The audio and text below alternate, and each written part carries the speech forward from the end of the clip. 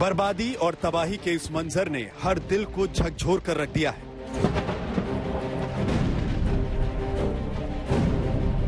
रूस यूक्रेन युद्ध के 18 दिन बीत चुके हैं, लेकिन न जंग की दशा का पता चल रहा है, न दिशा का। न रूस यूक्रेन की नीति का और न ही इन दोनों की नीयत का। खेरसन खात्मे की कगार पर है, खारकीव का हाल बेहाल है, मारियोपोल मटियामेट हो गया है। मेटिनोपोल में मातम है। इरपिन में चित्कार और रूस की ताकत के सामने राजधानी कीव का किला किसी भी वक्त ढह सकता है। युद्ध के 18वें दिन भी यूक्रेन जख्मी हो रहा है। वासिल कीव शहर में आयुध डिपो पर रूस ने जमकर बमबारी की। वोलनुवाखा शहर पर भी रूस ने हमला बोला है। मारियोपोल शहर की इमारतों पर टैंक गोले बरसा रहे हैं। कीव के बेहद करीब पहुँच चुकी है रूसी सेना। कहा जा रहा है कि पुतिन की फौज राजधानी में राष्ट्रपति भवन से महज 30 किलोमीटर की दूरी पर है। ये देखिए ऑब्स्टेकल जो हैं, ये यहाँ जगह जगह हर सड़क के ऊपर हैं ताकि जो टायर वाली गाड़ियाँ हैं, रबर के टायर वाली गाड़ियाँ हैं, उनके लिए इसको इस्तेमाल किया जा सके, रोड को जब ज़रूरत पड़े बंद किया जा सके और जो वो है, वो इसको किसी भी तरह से क्रॉस ना कर सके। तो इस तरह की तैयारी शुभांकर इस वक्त की शहर के अंदर गली गली में है, हर रोड पे है कोने कोने में है। हालाँकि जंग में बर्बाद होते यूक्रेन को लेकर उम्मीद की एक आस ज़रूर बधी है। रूसी राष्ट्रपति पुतिन ने माना है कि बातचीत सकारात्मक दिशा में जा रही है।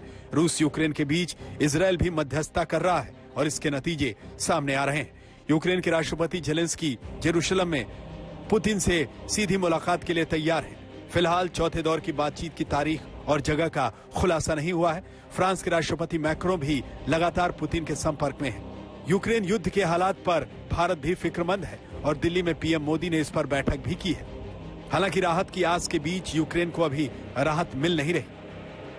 रूस की भारी बमबारी में बेलासरकोव के इस इलाके में, रिहायशी इलाके में भारी तबाही। एक नहीं, दो नहीं, कई घर यहाँ पूरी तरह से अब नष्ट हो चुके हैं। जैसे आप इस घर में देखिए, एक के बाद एक कई रॉकेट आए और ये घर ध्वस्त हो गया। लेकिन एक ही घर इस तरह का नहीं है। अगर आप पीछे देखिए तो वहाँ बच्चों की खेलने की जगह वो पूरी तरह से नष्ट हो गई। वो घर पूरी तरह से ध्वस्त हो गया और इतनी तबाही यहाँ पर मची है कि अब इस इलाके से लोगों को छोड़कर जाना पड़ा है।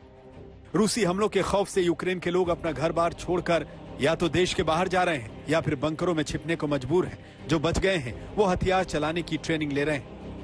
तो जो प्रशिक्षण एक आम सैनिक को तीन महीने में मिलता है, वो इन सभी लोगों को तीन दिन में पूरा करना पड़ता है। कलाशनिकोव राइफलों की ये ट्रेनिंग जो है, ये क्लास में पहले की जाएगी और उसके बाद ये जाकर बाहर अपनी निशानेबाजी का अभ्यास करेंगे। लेकिन समय इनके पास बहुत ज़्यादा सीमित है और उतने समय में ही इन्हें पूर्ण रूप से एक सैनिक के तौर पर तैयार रूस की सैन्य ताकत के सामने यूक्रेन की क्षमता कहीं नहीं टिकती, लेकिन लोगों के हौसलों को Раष्ट्рапати Зеленський ке вали сандеш парван чагаре. Мільйони людей у різних країнах, які ще 17 днів тому могли і не відчувати, що спільне у них усіх є, у нас, у всіх є. А зараз це очевидно мир, свобода, любов до своїх дітей, дітей, заради яких ми воюємо, щоб вони мали майбутнє.